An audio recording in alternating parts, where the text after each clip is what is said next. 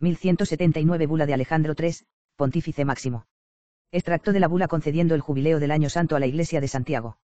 Alejandro Obispo, siervo de los siervos de Dios, para perpetua memoria, haciendo, aunque sin merecerlo, las veces del eterno Rey de la Gloria, de aquel soberano Rey, cuya inmensa piedad tan claramente resplandece en estar derramando siempre sobre los infelices mortales los benignos influjos de su gracia, pues queriendo inspirar en sus corazones el más ardiente deseo de la vida celestial, no se contentó con enviarles el oráculo de los profetas, ni con hacer por atraerlos por medio de la doctrina.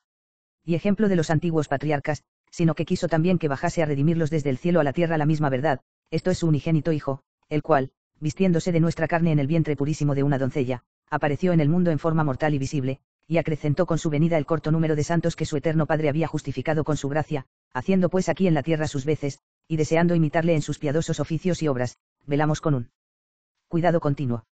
Y hacemos de nuestra parte los mayores esfuerzos, para que, no faltando la actividad de nuestro ministerio, se propague felizmente en el campo del Señor la preciosa semilla de la sagrada religión, que él mismo sembró por su mano, y franqueamos libremente a los que están encomendados a nuestro cargo el tesoro precioso de las gracias, para que, empleándose estos durante su vida en el ejercicio de las buenas obras con pureza de intención, logren la dicha de agradar al Altísimo con sus servicios, y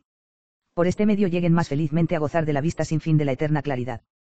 Por este mismo motivo, además de aprobar y corroborar con la firmeza apostólica las gracias próvidamente concedidas por los romanos pontífices nuestros predecesores, y darlas aún más fuerza y vigor para que en todo tiempo se conserven cada vez más firmes sin la menor contradicción, también las concedemos de nuevo, según vemos que conviene a la honra y gloria de Dios y salvación de las almas.